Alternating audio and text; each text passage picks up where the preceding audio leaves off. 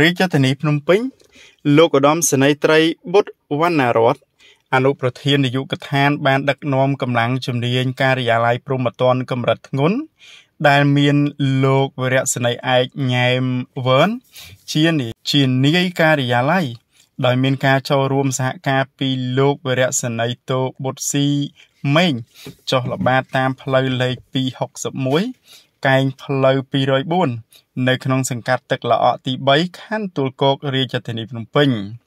ក៏ប្រទះឃើញជនសង្ស័យដែលជិះម៉ូតូចំនួន1មានគ្នាចំនួន2នាក់បានធ្វើសកម្មភាពកាច់កោម៉ូតូដែលចតទុកចោលបានសម្រេចភ្លាមភ្លាមនោះកម្លាំងជំនាញការិយាល័យធ្វើការប្រដេញដល់ចំណុចផ្លូវលេខ265 កែងនឹងផ្លូវលេខ150ក្នុងសង្កាត់ទឹកឡក់ទី2បានខត់ខ្លួននៅវេលាម៉ោង19:05នាទីថ្ងៃទី4ខែកញ្ញាឆ្នាំ2023នេះជនសង្ស័យទាំងពីររូបរួមមានឈ្មោះម៉ៅរតនៈភេទប្រុសអាយុ31ឆ្នាំជាជនជាតិខ្មែរមុខរបរធ្វើសំណង់ទីកន្លែងស្នាក់នៅមិនពិតប្រាកដគឺជាអ្នកចោះកាច់ទី2មានឈ្មោះថាហៀងលីហង ភេទប្រុសអាយុ22ឆ្នាំជាជនជាតិខ្មែរមុខរបរមិនពិតប្រាកដ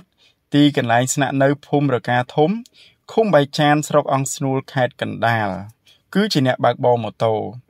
សម្ភារៈដែលដកហូតបានរួមមានម៉ូតូ Honda Click ពណ៌សពាក់ស្លាកលេខភ្នំពេញ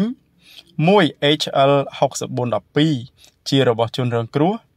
ទី2ម៉ូតូ Honda Dream ពណ៌ខ្មៅពាក់ស្លាកលេខភ្នំពេញ 1 KC 6034ជារបស់ជនសង្ស័យបច្ចុប្បន្នកម្លាំងជំនាញបាននាំជនសង្ស័យនិងបពួកមកនាយកដ្ឋាននគរបាលព្រំប្រទានដើម្បីធ្វើការសាកសួរនិងកសាងសំណុំរឿងបញ្ជូនទៅអាយកាអមសាលាដំបងរាជធានីភ្នំពេញចាត់ការតាមនីតិវិធីច្បាប់